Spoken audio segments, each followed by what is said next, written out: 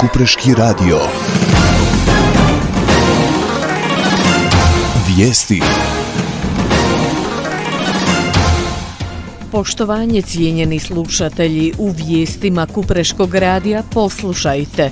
Križni put na Cvjetnicu od crkve Svete obitelji do crkve uznesenja Blažene djevice Marije na Suhom polju. U ponedjeljak 3. travnja započinje obilježavanje 31. obljetnice borbe za Kupres. Potpredsjednik Federacije BiH Stojanović neće dati suglasnost na imenovanje vlade, a pisat će i Sipu. Konaković i Nikšić dobili prijetnje smrću. Zenica rudari probili policijski kordon, jedan rudar ozlijeđen. U nedjelju 2. travnja 2023. godine na Cvjetnicu u organizaciji Župe Kupres i Župe Suhopolje održat će se križni put katoličkog puka iz četiri župe Kupre, Suhopolje, Otinovci i Rastičevo. Križni put započet će okupljanjem u 15 sati i 50 minuta ispred crkve Svete obitelji, a u 16 sati planiran je polazak prema župi Suhopolje. Križni put predvodit će naš kapelan Dom Jadranko Kurt. Općinski načelnik Zdravko Mioč bio je gost u programu Kupreškog radija u povodu obilježavanja 31. obljetnice pada Kupresa 10. travnja 1992. i dana sjećanja na sve poginule i nestale hrvatske žrtve. U organizaciji općine Kupres i braniteljskih udruga proisteklih iz domovinskog rata od ponedjeljka 3. travnja 2023. godine do 10. travnja 2023. godine bit će obilježena 31. obljetnica stradanja Hrvata na Kupreškoj visoravni. Program obilježavanja već tradicionalno započinje dobrovoljnim darivanjem krvi, a održat će se akcija u ponedjeljak 3. travnja 2023. godine simbolično kada je i započeo rat prije 31 godinu i krvava bitka za Kupres. Potpredsjednik Federacije Bosne i Hercegovine danas e, neće dati suglasnost za imenovanje nove vlade Federacije BiH, prenosi portal kliks.ba. Zakonski rok za formiranje vlade je 6. travanj te Igor Stojanović još ima vremena za suglasnost. Međutim, Kliks piše da on to danas neće učiniti. Stojanović će naime pisati liderima SDP-a Nerminu Nikšiću, HDZ-a Draganu Čoviću i Nesa Nerminu Ogreševiću kako bi se obavile dodatne konzultacije u vezi kandidata iz tih stranaka o kojima ne postoji suglasnost.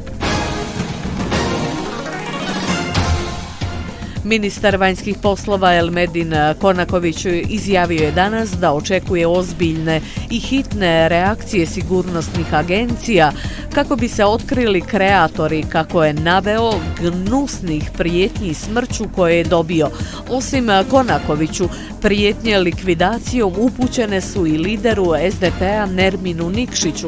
Konaković je na svom Facebook profilu objavio prijetnje u kojima između ostalog piše Likvidacija Konakovića i Nikšića se mora izvršiti što prije.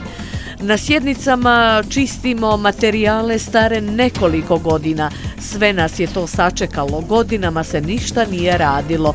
Usvajali smo sporazum sa Njemačkom za period 2018-2022 na sjednici u Ožujku 2023. godine. U takvom smo stanju zatekli državne institucije, vijeće ministara prije svega, potpuno nefunkcionalno, blokirano, sve zakočeno osim imenovanja. Formirali smo rekordno brzo vijeće ministara, proračun imamo u Ožujku sve nabrojane dokumente na vrijeme, sve za dva mjeseca.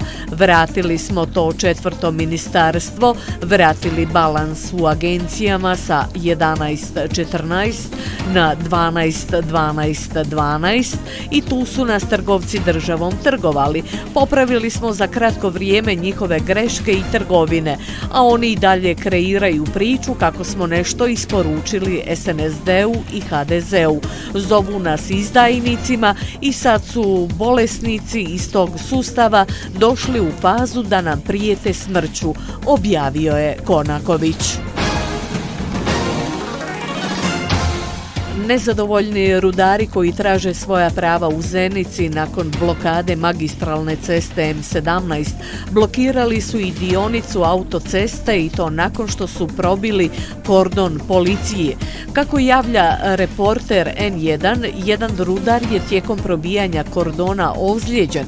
Zenički rudari proglasili su radnički neposluk 25. ožujka, a od jučer su na ulicama kako bi se izborili za osnovno pravo radnika, u ovom slučaju na plaću iz veljača i doprinose iz siječnja. Rudari podsjećaju da se gradonačelnik Fuad Kasumović kao najodgovornija osoba za nastalu situaciju u RME-u Zenica ne oglašava od prošlog petka kada su stupili u radnički neposluh te prekinuli proizvodnju i da su primorani na ovakav potez. Kako Fena piše, mogu se čuti i najave da će rudari na M17 ostati do deblokade računa RMU Zenica. Slušali ste vijesti Kupreškog radija. Sponzor vijesti Kupreškog radija Tom Prom DO, prodajni centar Kupres.